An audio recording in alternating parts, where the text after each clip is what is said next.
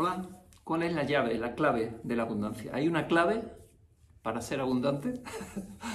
Conozco a muchísimas personas que están en el camino espiritual y prácticamente la mayoría vibran la escasez.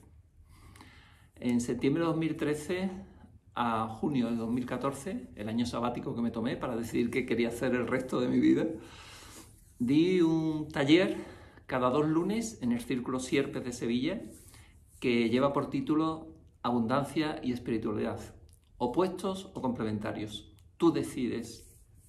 Ese taller que lo siguieron unas 20 personas de media, hubo algunos que, que hicieron cosas que yo les proponía y hay otros que no hacían absolutamente nada.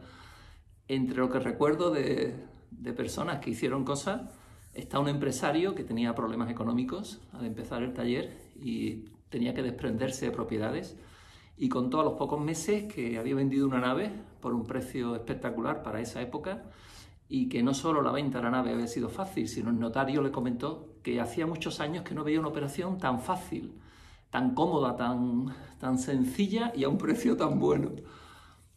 Hubo también una mujer que comentó que, bueno, ella es pintora, comentó que su marido la había dejado y que después de unos meses de, de hacer lo que le proponíamos en el taller, pues su ex estaba tratando de volver con ella y los cuadros que antes prácticamente regalaba porque no los quería nadie, ahora los hacía por encargo y vendía cada cuadro a 300 euros, cuadro que hacía en un día más o menos.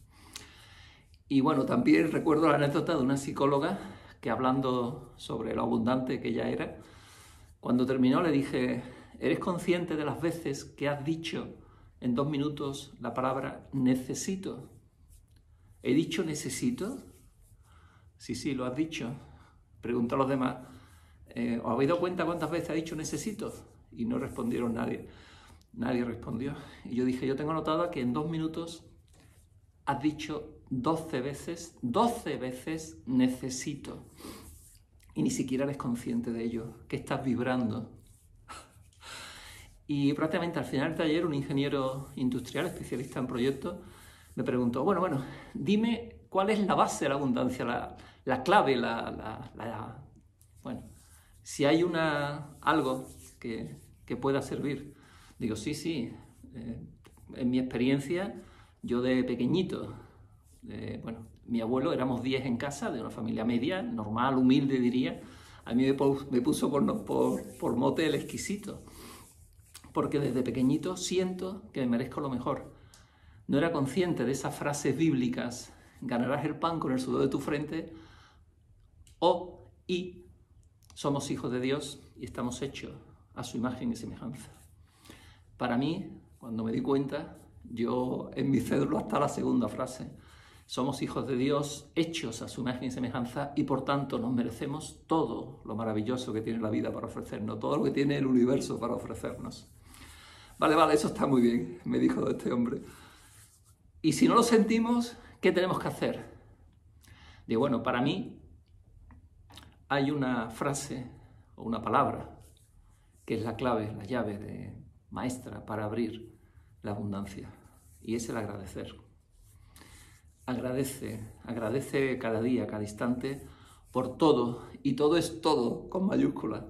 Todo es incluso lo que la mente califica como erróneo, desagradable, esto no lo quiero, agradecelo porque hay una gran enseñanza. Agradece por la mañana despertar porque estás vivo, comprueba tus seres queridos están vivos.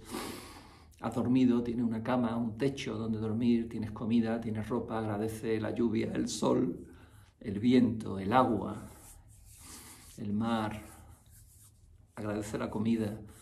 Y por la noche, antes de dormir, justo antes de dormir, agradece Agradece el día que has tenido para ser consciente o para lo que tú quieras. Agradece por el sueño tan agradable, reparador, energético que vas a tener. Y da igual las horas que duermas, vas a despertarte agradecido, sonriendo. Y bueno, si te parece, cambia la queja. La queja desaparece de tu vida. Y cámbiala por agradecer. Agradece todo cuanto aparece en tu vida. Insisto, da igual sea lo que sea, agradece todo, porque todo es camino para conocerte. Bueno, ahora también tenemos un método que es Saikei, la cuña publicitaria, que en varias sesiones puedes quitarte esa creencia limitante que está en el subconsciente y que viene de, bueno, tres meses antes de nacer a siete años, dicen los, científicos que, que, se nos meten esos programas. Y en un par de sesiones con Psyche puedes quitar esa creencia limitante y poner una de empoderamiento, una de abundancia. Lo dicho, si así lo sientes, por resumir, quita la queja de tu vida, de tu mente, de tu vocabulario, no te quejes nunca más en la vida de nada, absolutamente nada, y agradece absolutamente todo.